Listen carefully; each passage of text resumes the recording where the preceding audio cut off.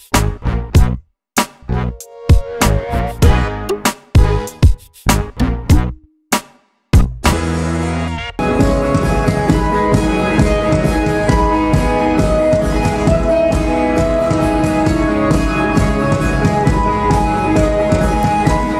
Med de tre medlemmer fra Folkeklubben, som skal på scenen her senere i aften under Nykøbing Festuge. Og øh, jeg vil da starte med at lige øh, høre, hvad er det for noget musik, som øh, publikum kan forvente at høre?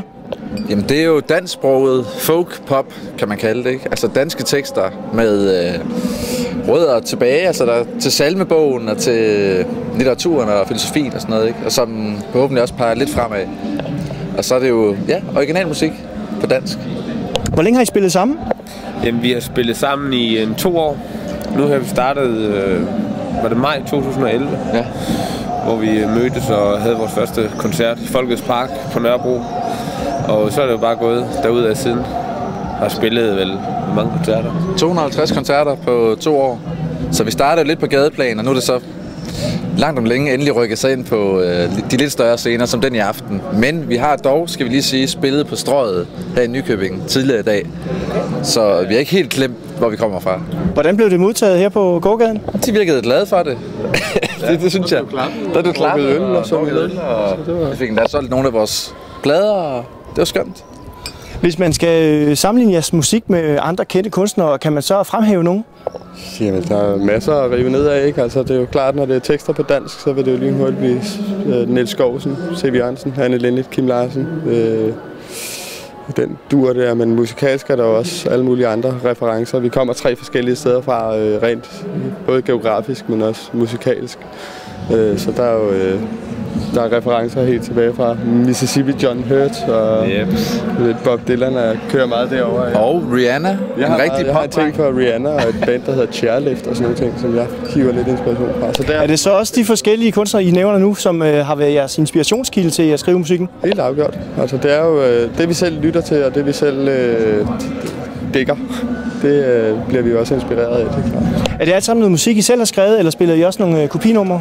Vi spiller absolut kun vores egen musik. Det, det er det, vi synes er udfordringen, og synes er skægt. Så øh, Og altid kun, vi har altid kun spillet vores egen musik. Har I nogle øh, drømme eller planer om fremtiden, hvad det skal føre med sig, det her? Jamen altså, man kan sige, lige nu her i vrøvlende stund her, der står vi jo midt i en drøm. Altså det her med at komme hele landet rundt. Øh, I så smukke byer her, ved, som her ved Guldborgsund, og hvor vi ellers har været. Det er sådan set, øh, hvis bare den her drøm kan blive ved. Og det kan den jo, hvis vi bliver ved med at lave gode plader.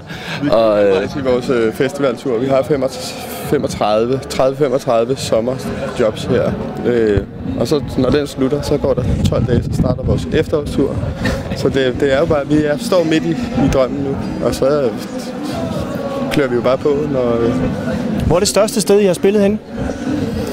Nu er vel øh, Fælledbanken til...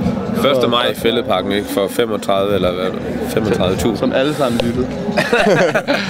ja, men altså, så, så skal vi spille Skanderborg Festival, og de der Jelling har vi spillet på, og Nibe og Storvægge har vi været og spillet opvarmning for Peter Sommer.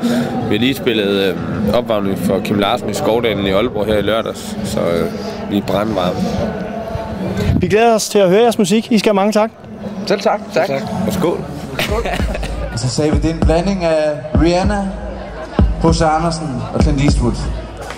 Så han, det, det, jo, det ville han da godt op og tjekke ud, men han ville gemme sig et sted på torvet, og så ville han nynne et lille kor. Måske ville han synge igennem, hvis resten af torvet faldt ind i koret. Vil I hjælpe os med at synge med? Vil I være vores bagmænd for en enkelt sang? Her kommer der en sang, som hedder Bagmænd og Supertanker.